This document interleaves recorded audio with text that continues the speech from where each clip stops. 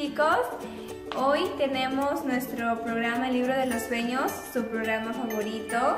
Como cada domingo, hoy domingo 23 de octubre, tenemos un programa muy entretenido para ustedes, chicos. Sí, por ahí ya los estoy viendo, y se están acomodando con sus hermanitos, sus primos, sus mamitas también pueden ver. Este programa es especialmente para ustedes. Sí, enfocamos mucho lo que son ustedes, nuestros niños. A ver chicos, quiero pedirles un favor. Así como ustedes se comunican con sus amigos, ya sea para una tarea, para hablar, para contar, para contar lo que pasó en el colegio, para enseñar ahí con sus compañeros, quiero que inviten, que los inviten, les manden un mensaje, les digan que tenemos este programa para que ellos también lo puedan ver y puedan ya este, el lunes de repente también conversar sobre lo que viene en este programa, chicos, ¿sí? Para empezar este programa muy entretenido tenemos muchas cosas para ustedes.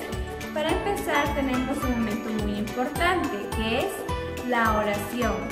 La oración es muy importante, chicos. Tenemos que orar antes de dormir, al levantarnos y al consumir nuestros alimentos. ¿Sí, chicos? Así que sin más preámbulos, para ya empezar, vamos a dar pase a la oración.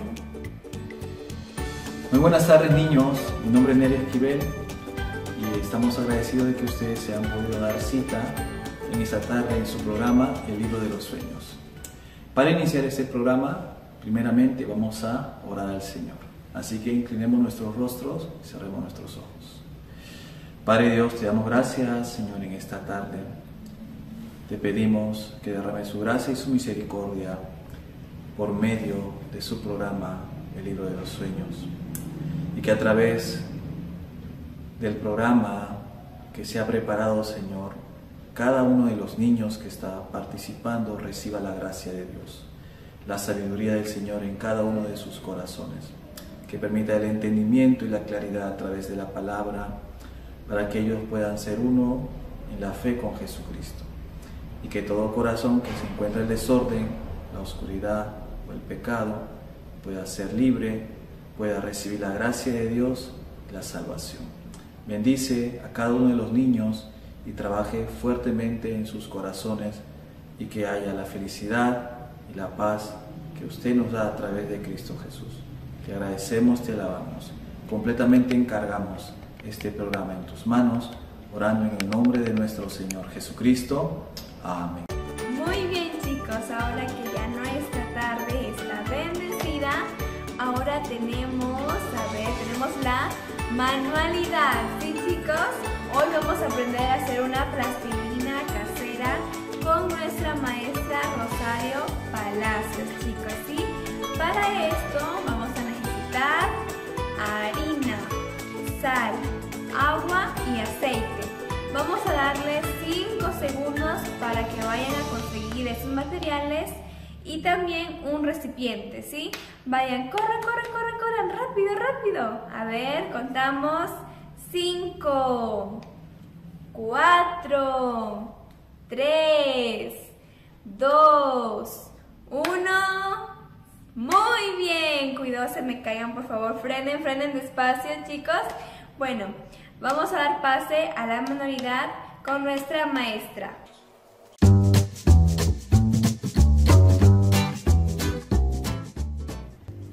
Niños, bienvenidos. Espero que se encuentren muy bien. Esta mm, mañana vamos a tener el segmento de manualidad. Hoy les voy a enseñar a preparar una plastilina casera. Los ingredientes son, son muy fáciles de encontrar. Como todos conocen, la harina, una taza de harina, media taza de sal, media taza de agua, 4 cucharadas, cucharadas de aceite y los tintes, niños, pero si ustedes no tuvieran, pueden hacerlo con témperas. También vamos a utilizar un bolo donde vamos a mezclar todos los ingredientes. Ahora sí, niños, vamos a seguir. Vamos a echar la harina. Luego vamos a echar la sal. Luego vamos a echar el agua. Vamos a ir probando, niños. Ahora sí vamos a echar cuatro cucharadas de aceite. Una, dos, tres,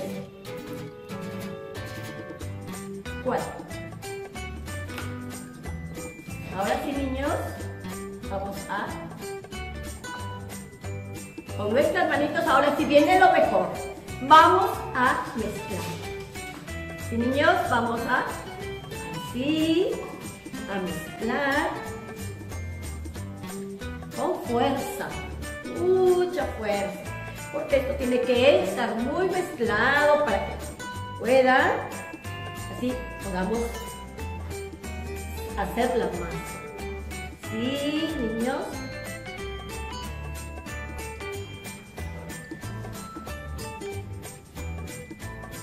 Vamos a ir probando un poquito más de agua.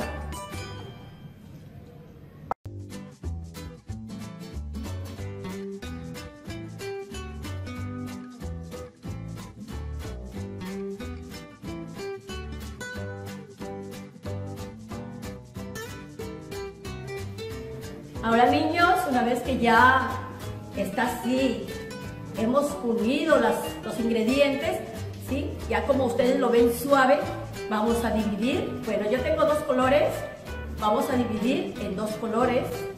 ¿sí? Vamos a hacer. A esta masita le vamos a hacer un hoyito. A esta también le vamos a hacer otro hoyito. Y ahí le vamos a echar una gotita.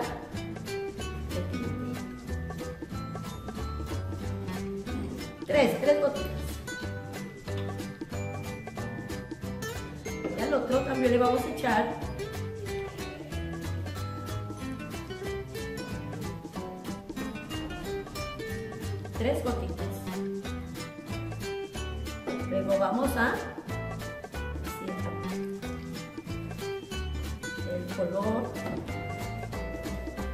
bien.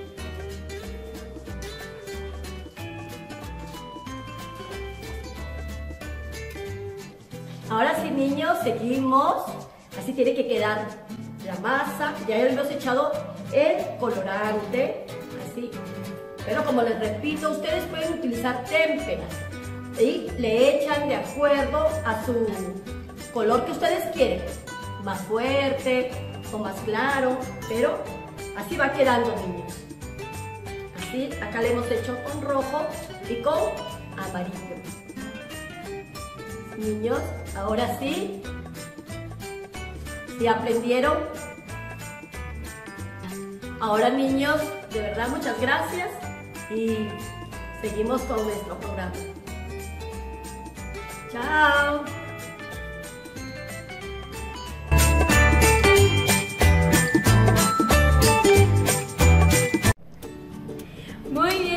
Ahora que ya tenemos nuestra plastilina, sí, miren aquí por aquí, yo también hice junto con la maestra, espero que les haya gustado, en sus ratos libres puedan hacer sus figuritas, la moldeen, se diviertan, porque eso es para ustedes chicos. Ahora vamos a pasar al momento de las presentaciones chicos, ¿sí? Tenemos a nuestra escuela bíblica Soñadores de Piura. Nuestros niños están muy contentos de poder presentar, lo han hecho con mucho corazón, con mucho entusiasmo. Para ustedes, ellos quieren cantarles, ¿sí? Tenemos dos presentaciones, ¿sí? Así que vamos a verlas.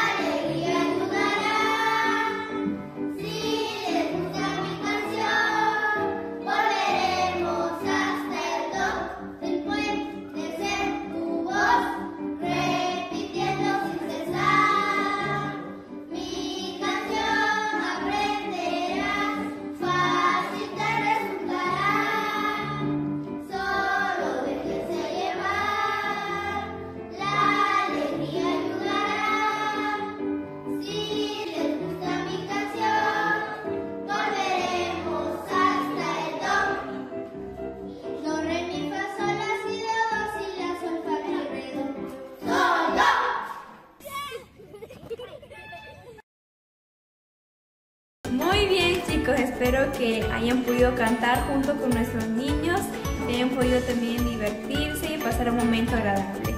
Ahora hemos pasado al momento más importante de nuestro programa, el cuento. Hoy tenemos un cuento que se llama El pequeño y los tres ladrones. ¿Sí? Como estamos en el mes de, sabiduría, vamos a aprender de este cuento. Así que necesito que estén muy atentos y puedan escucharlos. Está muy interesante esta historia, ¿sí chicos? Así que vamos a verlo.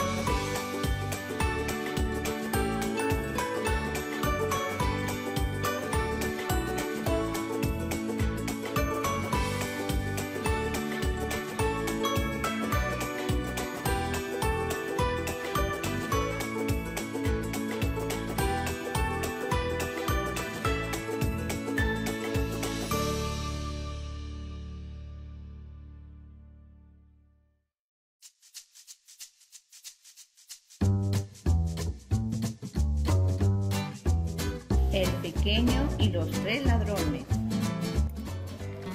Hace mucho tiempo había unos ladrones en India. Yo soy inteligente. Yo soy muy rápido.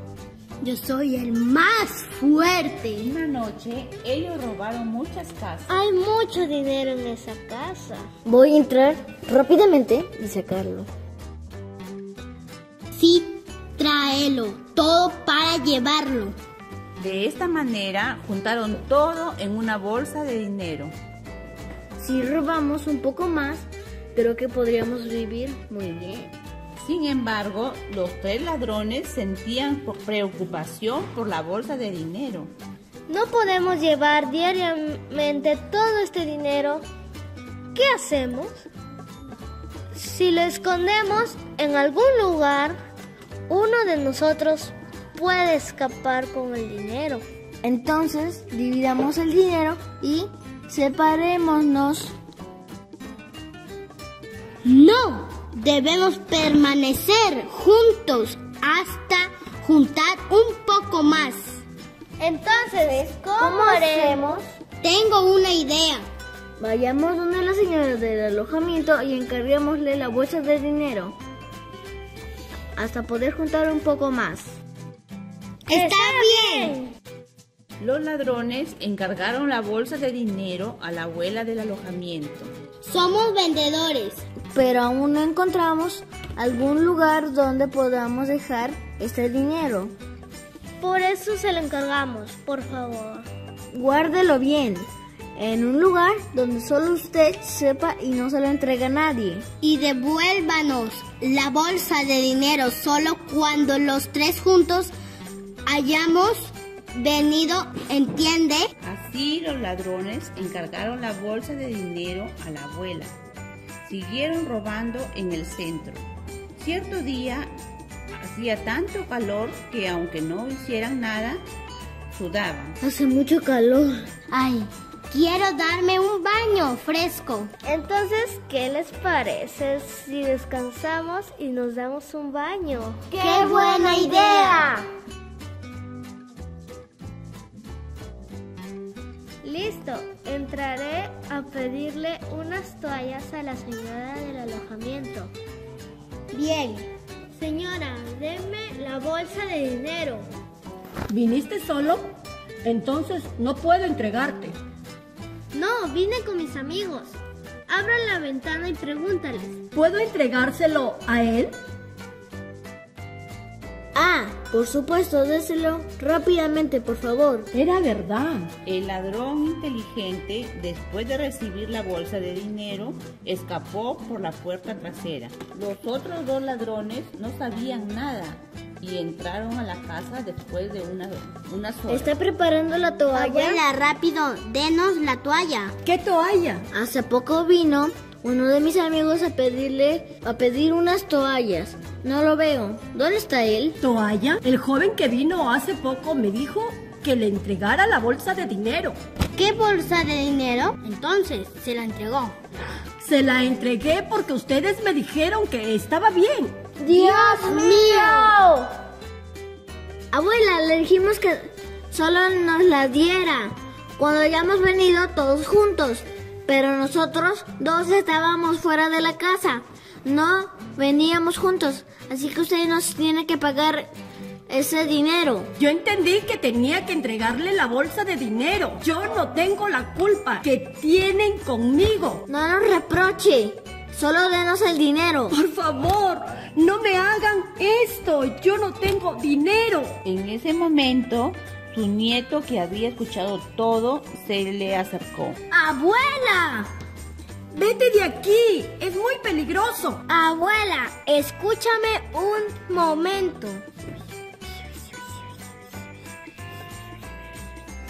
Ah, claro. Jóvenes, si quieren que les dé la bolsa de dinero, escúchenme bien. Eso hubiera hecho antes. Pero para recibir la bolsa de dinero, el acuerdo fue que tenían que venir los tres juntos. Entonces, si quieren retirar la bolsa de dinero, primero busquen a su amigo. No. Gracias, me salvaste la vida, mi nieto sabio. Dos de los ladrones aún están buscando al amigo que se escapó y el niño inteligente se convirtió en un gran juez. Aunque la sabiduría no se, no se ve mediante los ojos, ellos tienen una gran fuerza para solucionar los problemas. No obstante, algunos usan esa sabiduría para sus deseos y otros la usan a favor de otras personas. Ustedes, ¿para quién usarán su sabiduría y su talento? Muy bien chicos, una vez que ya escuchamos nuestro cuento, estuvo muy interesante, ¿verdad? Muy entretenido para ustedes. Entonces que estaban muy, muy atentos. Sí chicos, de este cuento podemos aprender, ¿no? La sabiduría. La sabiduría de dónde viene chicos? De Dios. Desciende de Dios, ¿sí? Sí, con este cuento podemos aprender, ¿no? Que tenemos que utilizar nuestra sabiduría para cosas correctas y no para cosas malas, ¿no? Tenemos que ser astutos, sí, pero utilizar la sabiduría para cosas correctas que agraden a Dios, chicos, ¿sí?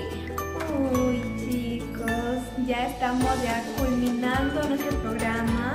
Estoy muy triste de ya irme ya y no poder verlos. Pero chicos, el próximo domingo tenemos nuevamente nuestro programa, ¿sí? Así que los invito para que lo puedan ver, puedan compartir con más chicos, con sus más amigos, familiares, para que más personas y más niños puedan verlo, ¿sí? Puedan participar de ese hermoso programa.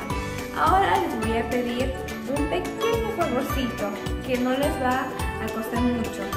Denle me gusta y sobre todo compartan con sus amigos y sus compañeros. ¿Sí chicos?